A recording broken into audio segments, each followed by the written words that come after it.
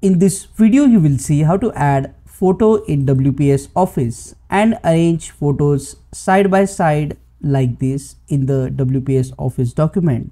It's very easy.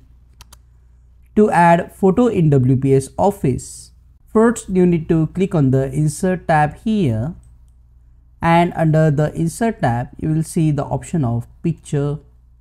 Click on the small downward triangle to see more options. And if you want to insert the picture from the computer or a laptop, select the first option from file. After clicking this option, you can search the picture name here.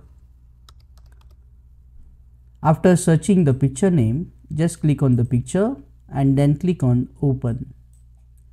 Now it may happen that the picture size will be very big or large.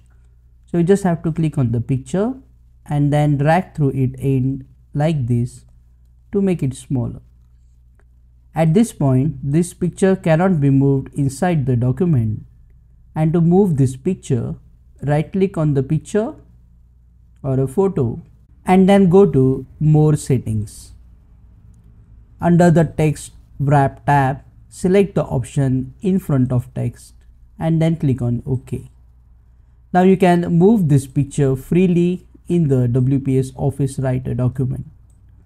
Like this you can insert multiple pictures in the document and then just drag it side by side to arrange in the document.